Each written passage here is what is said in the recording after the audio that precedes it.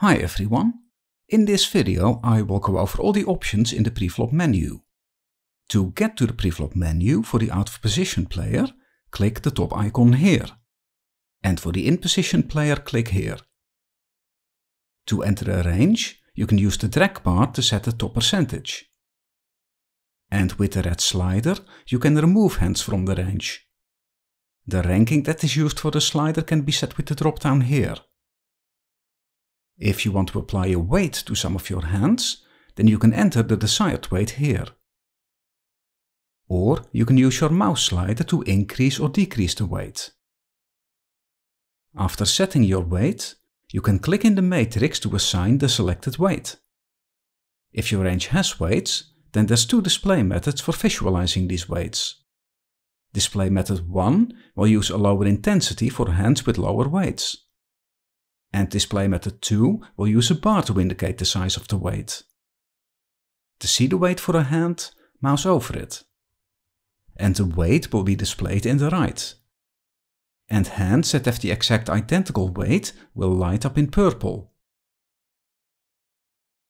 If you want to apply a specific suit to a hand, then click on Suit selection. For example, I want to set that all suited aces are either hearts or clubs. And now, select in the matrix to which hands you want to apply these suits. To select multiple hands, press your mouse button down and mouse over everything that you want to select.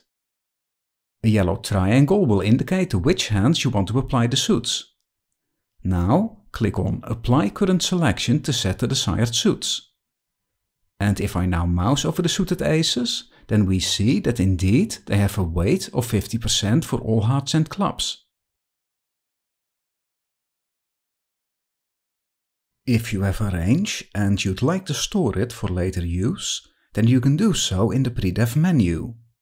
To store a range that you have in the matrix, simply click on Add Range. Enter the name for the range, accept, and your range is now added at the bottom of the list of ranges. If you want the range to be placed anywhere else in the list, then just drag and drop it. If you want to create a category that contains multiple ranges, then select Add Category. And you can drag and drop any ranges that you like into your category. To drop a range into a category, mouse over it and then mouse over the insert icon. A category can also be given a subcategory.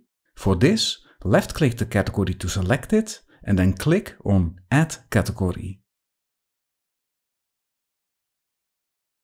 And a subcategory is now added. I will again just move our range into it by dragging and dropping it. To change the name of a range or category, left-click it to select it and click on Rename.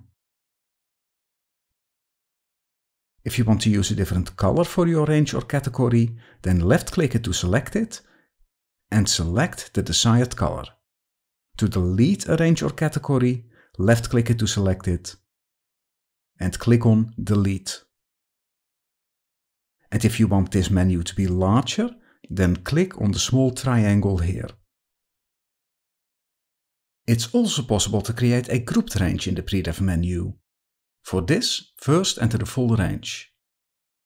And after this, select Apply Groups to Selection. Here you can select the group and click in the matrix to assign hands to that group. If you want a hand to be a mix of multiple groups, then drag the groups that you want to use into the bar below the menu. After that, click on the bar to set the desired distribution. And any hand that you click now will be assigned to that distribution of groups. To now add the grouped range to the predefs, click on Add Range.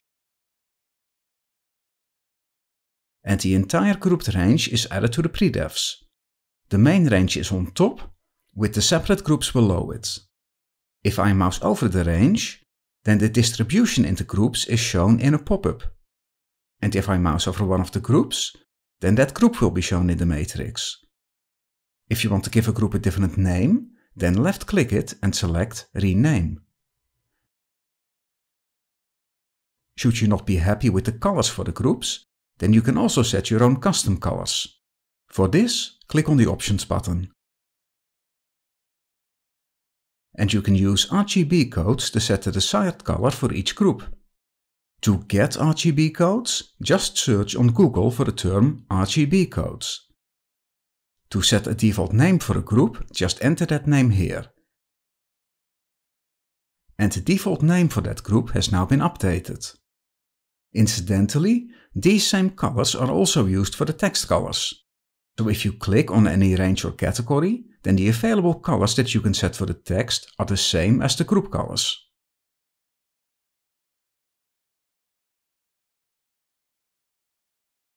To load a range that you have stored to the predefs, simply double-click it to load it. It's also possible to add ranges together.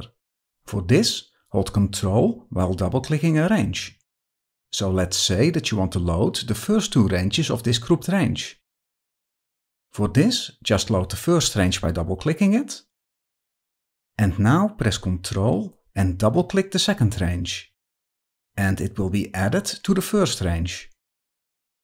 Similarly, you can press Shift to subtract ranges.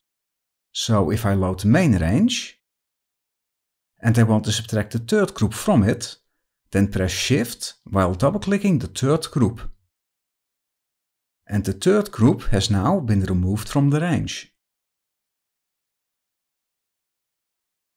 If you want to enter a range, then it's of course also possible to use text input. Should your range be in a format from another program, then when you enter it, it will be automatically converted to our format.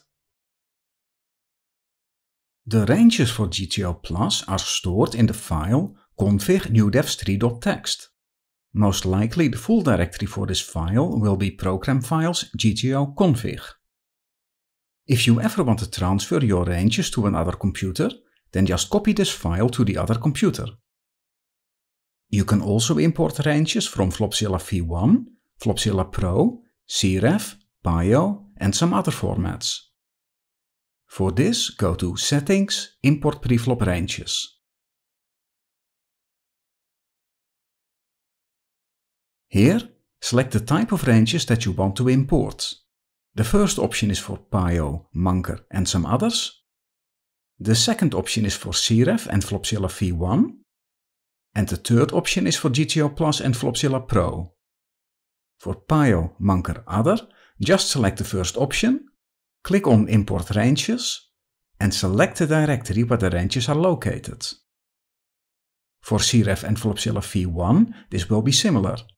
For them, the ranges are stored in a newdevs2.txt file. This file can be found in the same directory as their exe file. If you need this directory, but you don't know where it is, then just right-click their icon on your desktop and select Open File Location.